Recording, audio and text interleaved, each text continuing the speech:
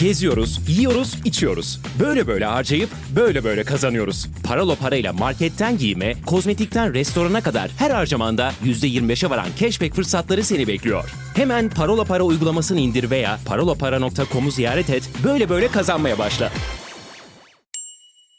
Hayvel'de ilk terapi seansınız %50 indirimli. Bu sonbaharda yenilenmek ve kendinizi keşfetmek için başlayacağınız yolculuğunuzda PODB 50 kodunu kullanın, %50 indirimden yararlanarak terapiye başlayın. Detaylar açıklamalarda. Herkese merhaba. Bu hafta Oksijen Gazetesi'nin manşeti Bekir Ardır'ın bir yazısı üzerineydi. Başlık, bu artık bir beka sorunudur. Bu beka sorunu ifadesi kulağımıza çok çalınmıştır ama konu neye ilişkindi? Araştırma sonuçlarını paylaşan Ağırdır, her 100 kadından 75'inin gece sokakta güvende hissetmediğini söylüyor. Bu akıllara gelen ilk soru yani gece sokakta güvende hissetmeme meselesi bence iyi soru değil. Akıllara gelen ilk soru ama. Daha iyi soru şu. Kadınların yüzde kaçı gece sokakta değil kendi evinde güvende hissetmiyor? İlla öldürülüp kadın cinayetleri istatistiklerine girmek zorunda değiller. Lütfen hayal edin. Hiçbir ekonomik güvenceniz yok. Gidebileceğiniz bir ana baba evi yok. Belki de var ama yok. Boşanmaya kalksanız nasıl yaşayacağınız şüpheli. Yine de canınıza tak ediyor. Her gün dayak, her gün dayak. Boşanmaya kalkıyorsunuz ölüm tehditleri. Tam bir esir hayatı. Bir avukat arkadaşa sordum. Bu durumda bir kadının hakları nelerdir dedim. Bana dedi ki Ozancım öncelikle bu kadın en yakın polis merkezine gidecek. Devlet bu olayda kadını koruyucu, faili önleyici kararlar alacak. Bu kapsamda Aile Bakanlığı'na bağlı Şiddet Önleme ve İzleme Merkezi'ne yani kısaca ŞÖNİM'e haber verilecek. ŞÖNİM'den gelen yetkililer kadını bir sığınma evine yerleştirecek. Zaten nüfusu 50 binin üzerinde olan her yerde sığınma evleri olmak zorunda. Kadın sığınma evine yerleştirildikten sonra erkek izlemeye alınacak. Hakları bunlar. Peki bu kadının hikayesi münferit miydi? Hayır. Kadın Dayanışma Vakfı 2019'dan bu yana bir araştırma yayınlıyor. Araştırmanın başlığı Yoksulluk Nafakası Araştırma Raporu. Bu rapor kapsamında 11 ilde aile ve asli hukuk mahkemelerinden 140 dosya inceleniyor. Bu dosyaların ortak özelliği kadının yoksulluk nafakası istediği dosyalar. Araştırma bulgularını araştırmanın da koordinatörü avukat Zekiye Karacaboz T24'de anlatmış. İncelediğimiz dosyaların %86'sında sanıyorum şiddet beyanı var kadınların. Yani boşanma davalarında üstelik sadece bunlar dile getirilenler. Davaya taraf olan kadınların %47'sinin herhangi bir geliri yok. %5'inin de düzenli geliri yok. Yani bu düzenli bir işe sahip olmadığı anlamına geliyor. Dolayısıyla %52'sinin asgari ücret düzeyinde dahi geliri yok. Neyse ki bu durumdaki bir kadın esaret hayatı yaşamak zorunda değil. Biraz önce dinlediniz. Gidecek bir polis merkezine durumunu anlatacak ve bu esaret hayatından kurtulacak. Ona bu hakları veren yasanın adı 6284 sayılı yasa. Gündemde çok şükür ki hakiki bir konu var. Halkın hakikatinin gündem olması iyidir. Ben kadın meselesinde mümkün mertebe konuşmamayı tercih ediyordum. E, haddimize değil yani bu bir kadın hareketi. İnsan her şeyde bilmez. Bu konuda ahkam keserken insan bir haddini bilmesi lazım. Ben daha ziyade bu alanda kadınların konuşmalarını dinlerim. Fakat madem hakiki bir gündem var ve madem iyidir gündem olması izin verin meseleye trend topikten dahil olalım. Biraz önce tümüyle güvencesiz bir kadının haklarını dinlediniz. Bu hakların dayanağı 6284 sayılı ailenin korunması ve kadına karşı şiddetin önlenmesine dair kanun. Yürürlüğe giriş tarihi 8 Mart 2012. Ama bu kanunun çıkması için kadınlar tam 25 sene mücadele ettiler. Az değil, çeyrek asırlık bir mücadelenin sonunda 8 Mart 2012'de yürürlüğe girdi 6284. Neden çeyrek asır diyorum? Bunun için 1987'ye gitmek lazım. Biz bir de giriş yapmadık değil mi? Durun kusura bakmayın. Efendim ben Ozan Gündoğdu. Hazırsanız başlayalım.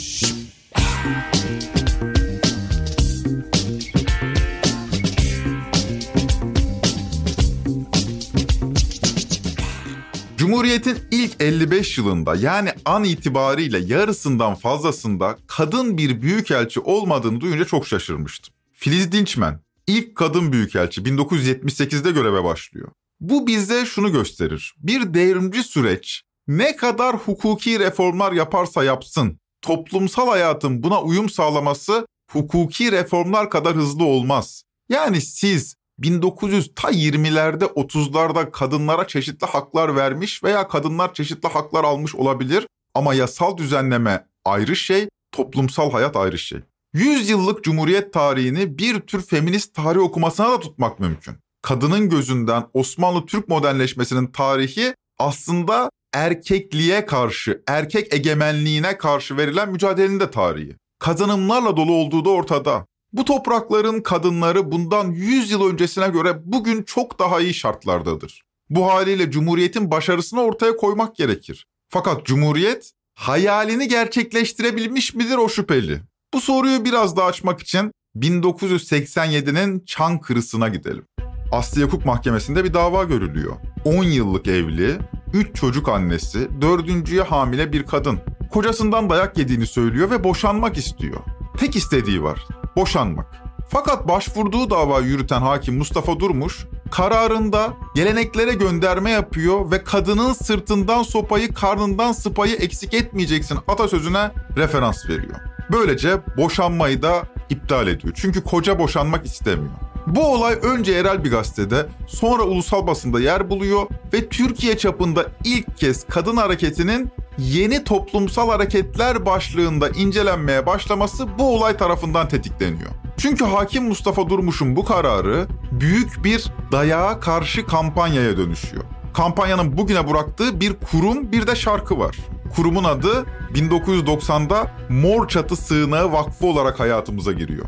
1987'de başlayan dayağa karşı kampanya büyük bir farkındalık yaratıyor. 17 Mayıs 1987'de Kadıköy'de ilk kez yürüyüş düzenliyor kadınlar. Yani bugün gördüğümüz yürüyüşlerin neredeyse ilkidir 17 Mayıs 1987 yürüyüşü. Cumhurbaşkanı Kenan Evren bakın. 12 Eylül 1980'den sonraki o ağır şartlarda ilk toplumsal hareketlikler bunlar. Tabii kadınlara ideolojik bir saldırı da başlıyor.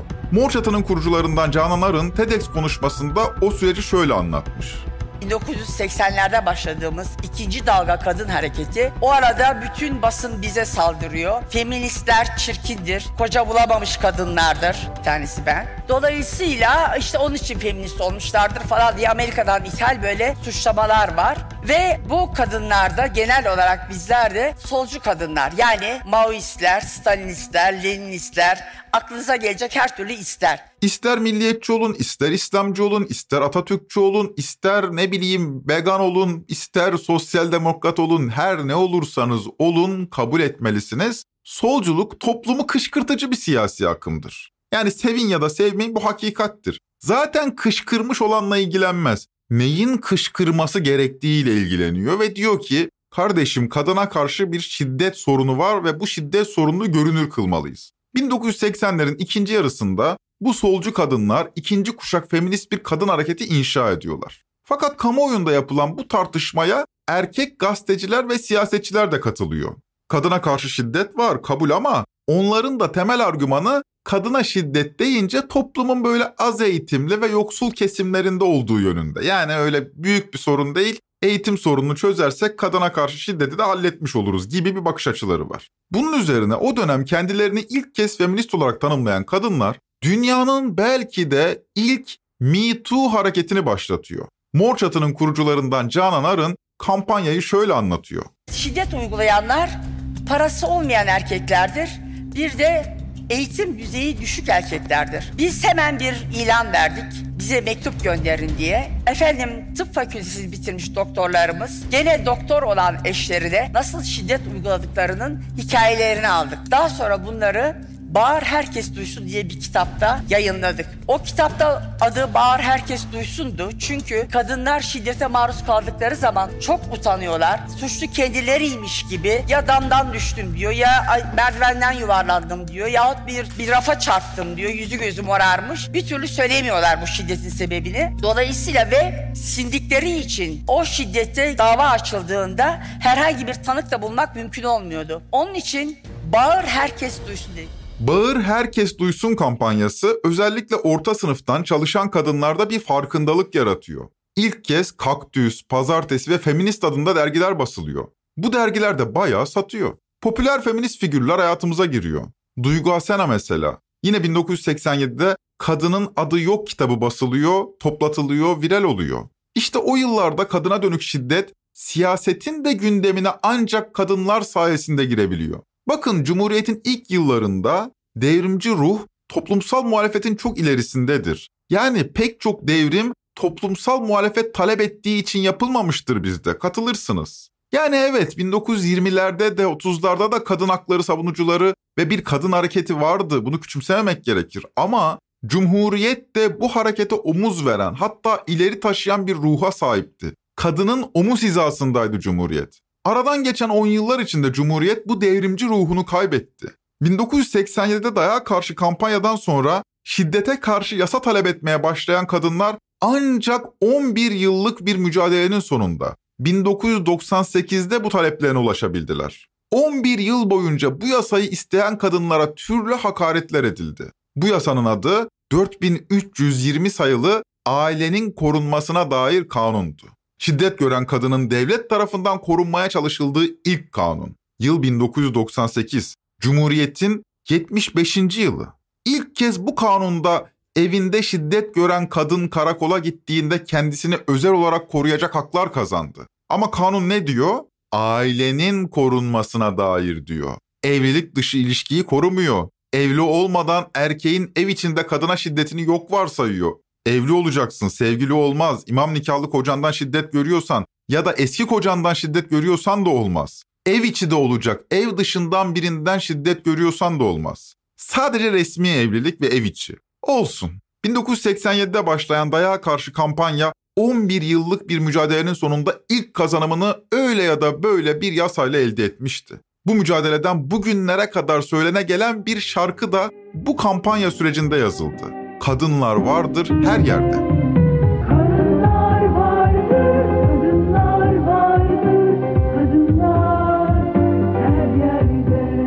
Kadın hareketinin baş sorun olarak gördüğü ve bu yönde ilerleyen şiddet başlığı toplumsal mücadelenin ana başlığıydı. Yani en yukarıya şiddeti yazmak gerekir. Bu ana başlığın alt başlıklarından ilki dayaktı. Dayak. 1998'de çıkarılan 4320 sayılı kanun da bunun ilk kazanımıydı. Dayak son derece toplumsal bir meseleydi. Toplumun hemen her kesiminde görülen bir şeydi. Fakat dayak erkeklik halinin en vahşi dışa vurumlarından biri de değildi. Tekrar ediyorum dayak erkeklik halinin en vahşi dışa vurumlarından biri değildi. Şiddet yer yer öylesine bir hale geliyordu ki kadın hayatını kaybediyordu. Ve son derece dramatik bir sürecin sonunda katil olan erkek Arkadaşlar bunun bir namus davasıydı hallettim. Tabancamı aldım teslim olmaya gidiyorum. diyebiliyordu.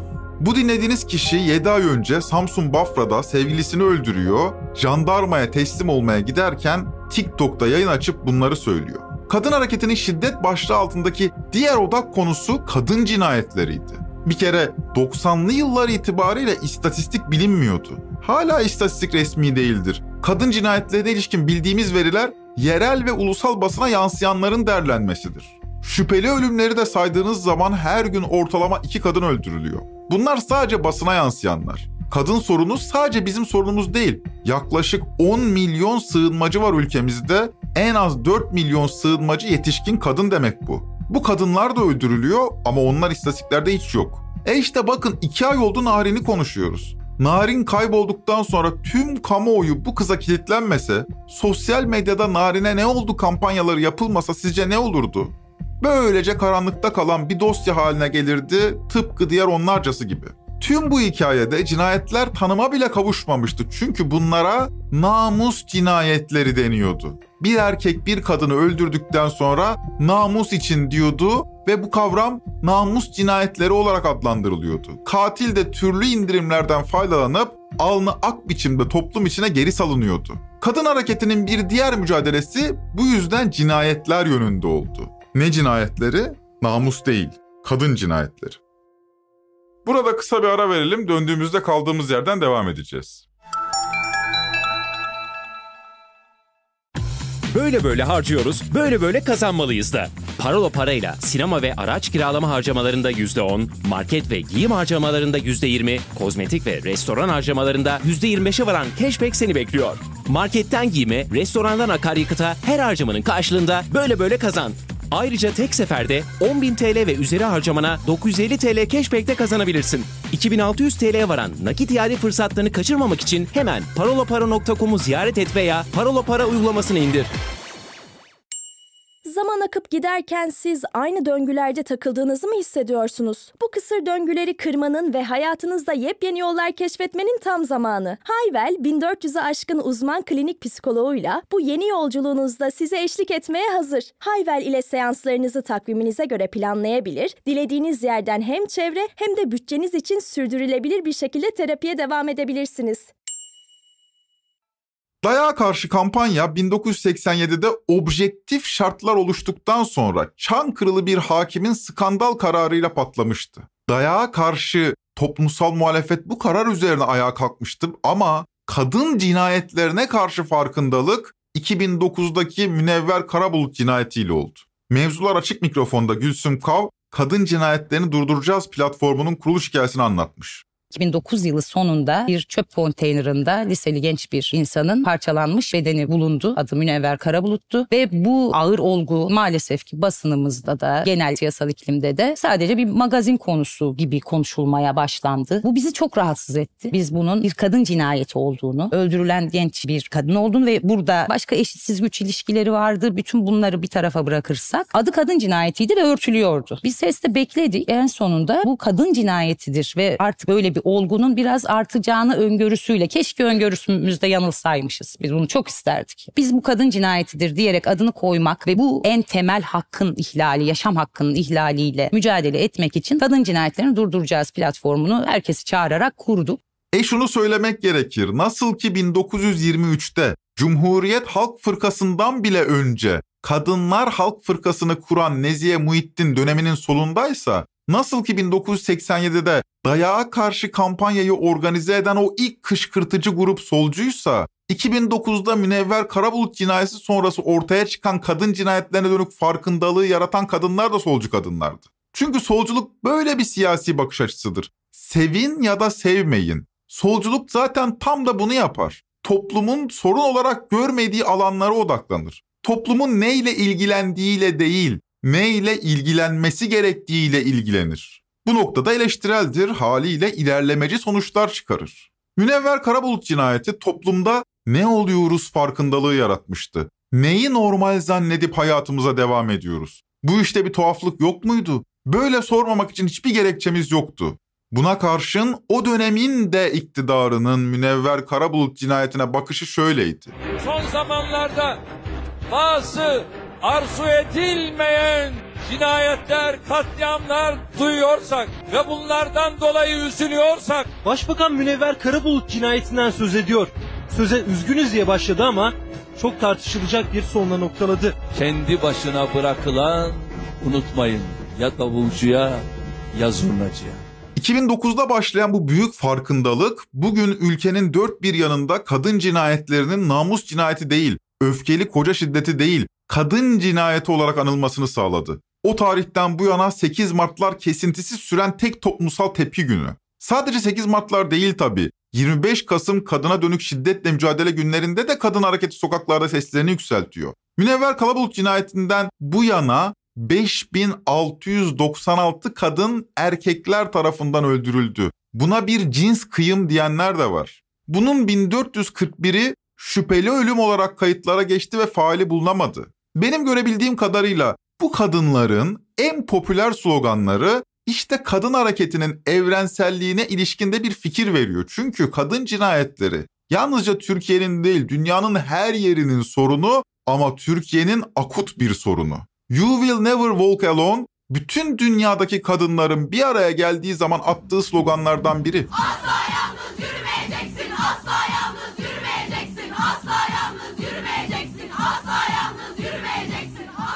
Evet kadın mücadelesine sadece Türkiye'den değil evrensel bir pencereden bakmak da mümkün. Zira kadın her yerde kadın, erkek her yerde erkek. Kadın hareketi doğası gereği evrenseldir. Sevgili dostlar bakın evrensel 3 tip çelişki sayabiliriz. Bu çelişkiler insanlığımıza ait çelişkilerdir. Bir medeniyet, bir insanlık meselesidir. Bu çelişkilerden ilki insan ve doğa çelişkisidir. Bakın insanlığın geldiği aşama doğayı ne hale getiriyor? İklim krizi diye bir başlık var önümüzde. İnsan doğa çelişkisine ilişkin konuşan, buraya kafa yoran ekolojistler var. Bu ekolojistlerin dünyayı ele aldıkları çelişki evrenseldir. Yani ulusal çelişkiler ya da başka çelişkiler ekolojistlerin kafasında yoktur.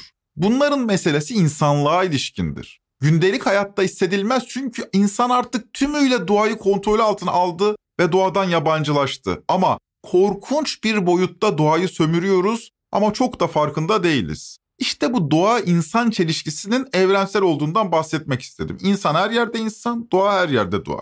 İnsanlığa ilişkin bir diğer çelişki insanın kendi içindeki emek sermaye çelişkisi. Bakın onu gündelik hayatta da farkındayız. Dünyanın neresine giderseniz gidin bu çelişkinin izlerini görürsünüz. Gelirde adaletsizlik, servette adaletsizlik dünyanın her yerinde. Hem bölgesel düzeyde hem ulusal düzeyde. Sömürgecilik, emperyalizm dünyanın her yerinde. İşte emek ile sermaye arasındaki bu çelişki de evrenseldir. İnsanlığa ilişkindir. Gündelik hayatımızın tüm çatışmalarının altında yatan kök nedenlerden biridir. Buraya kafa yoranlar da sosyalistlerdir. Emek her yerde emektir, sermaye her yerde sermayedir. İnsanlığa ilişkin bir diğer çelişki ise cinsiyetler arasındaki kadın erkek çelişkisidir. Tüm insanlık medeniyetini yatay kesen bir çelişkidir. Sadece Türkiye'de değil, dünyanın her yerinde ve insanlığa dairdir. Kadın her yerde kadın, erkek her yerde erkek. Sadece tonları farklı. İran'da Mahsa Amini eylemlerini başlatanlar İranlı kadınlardı. Şili'de bir grup kadın tüm dünyaya Lastesis dansını öğretti hatırladınız mı?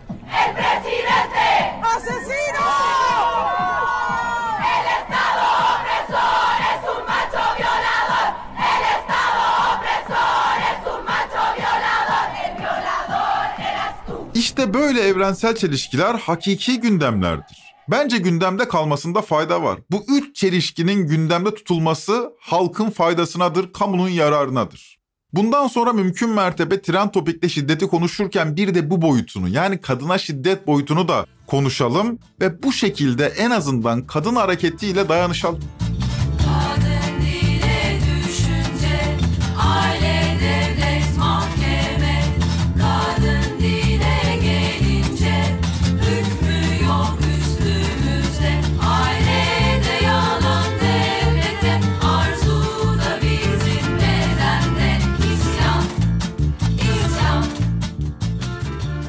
Aa durun bitirmeyelim. Neyi unuttuk?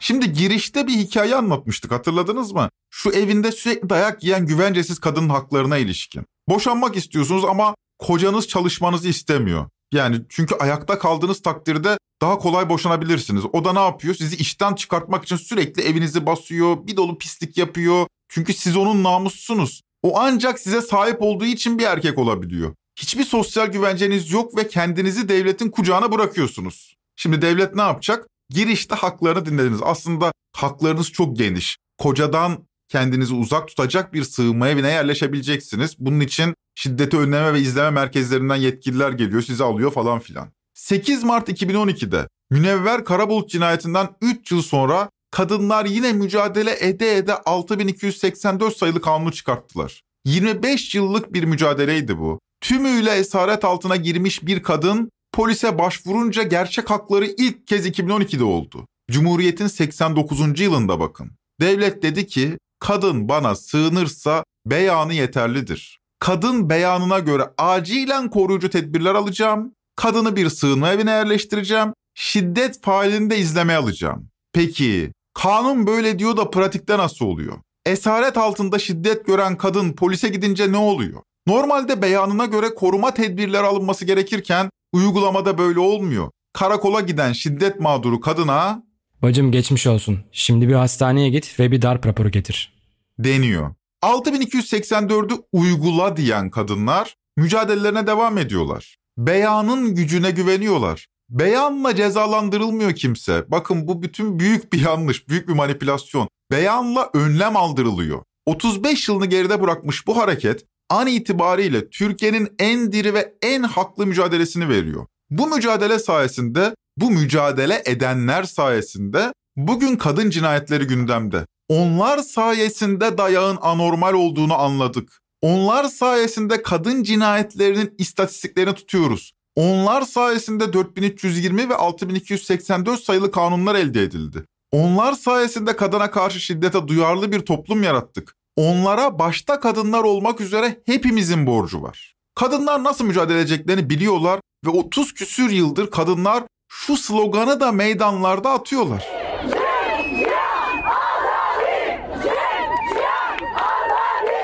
Bu sloganı atan kadınlar terör örgütü üyesi olmakla suçlanıyor. Kampüslerde kadın hareketinin toplantıları erkekler tarafından fiziksel şiddetle bastırılıyor. 35 yıldır pek de görmeye alışkın olmadığımız bir cüret bugünlerde hortlamış durumda. Taşla sopayla kadın eylemi basıyorlar. Hatta buradan hareketle tüm kadın hareketi zararlı cemiyet gibi gösteriliyor. Bugün geçtiğimiz hafta bazı kadın platformlarının paranteze söylüyorum PKK iltisaklı, PKK tedrisatlı bazı kadın platformlarının buraya gelip de Şinjiyan azadi demesi üzerine dün Ankara Barosu'nda seçimlerde Şinjiyan azadi demesi üzerine bugün Diyarbakır'da bebek katili Abdullah Öcalan için sokağa çıkıp Şinjiyan azadi demesi üzerine Türk milliyetçileri olarak buraya toplanmış bulunuyoruz. Xinjiang azadi tartışması üzerine çarşamba günü Trend Topi'ye randevu verelim. Ama o zamana dek düşünmek için biraz zaman tanıyalım kendimize. Sorumuz şudur. Neden kadınlar dünyanın her dilinde sloganlar atarken, şarkılar söylerken şöyle sloganlar atmıyorlar? Vaktiyle bir Ayşenur varmış. Var olsun. Yaşa. Var ol. Türk kadını. Yaşa. Var ol. Türk kadını. Yaşa. Var ol. Türk kadını. Yaşa. Var ol. Türk kadını. Nedenini çarşamba günü konuşalım. Trend Topik'te bu konuyu detaylandıralım. Benden bu kadar. Hadi eyvallah. Saçım kısa eteğimde, sokaktayım köşede.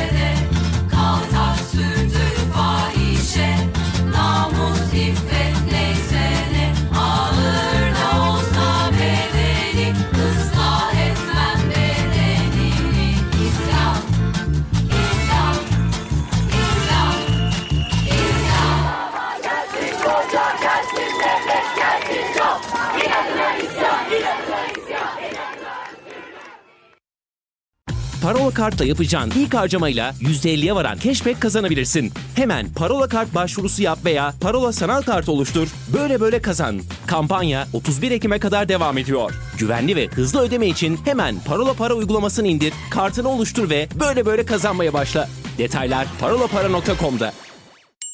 Hayvel uzman ekibinde on binlerce başvuru arasından titiz ve kapsamlı bir mülakat süreci sonunda seçilmiş 1400 yetkin klinik psikolog bulunuyor. Siz de kendinize en uygun uzman psikologla tanışmak için hemen açıklamadaki linkten Hayvel'i indirin ve terapi yolculuğunuza güvenli bir ilk adım atın.